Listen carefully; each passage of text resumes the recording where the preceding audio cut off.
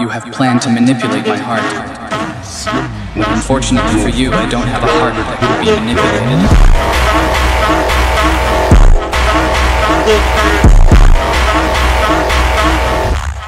I was ordered to try to kill them.